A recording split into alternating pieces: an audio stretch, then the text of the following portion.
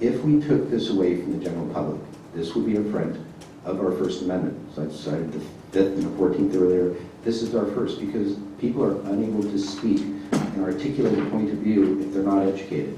This is our sole opportunity to try and find out how our tax dollars are spent and what things are going on. Generally, our public officials, such as yourself, you are relying on staff to make a vote.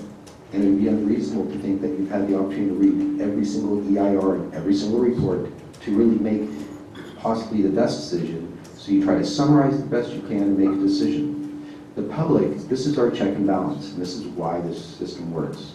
This is why we have a constitution. So we have this opportunity to try to say, whoa, whoa, whoa, and buried within the staff report, and not by our elected politicians, there's something that's not best for the whole, and we bring this up for the benefit of everybody.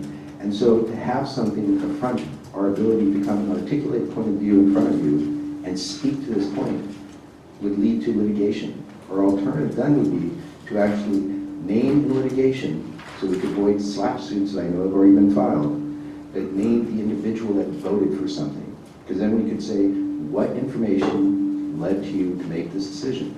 And by subpoena, we could still get the same information, but then it'd be very embarrassing because it would put our public officials at risk of showing why and what they relied on to make the vote.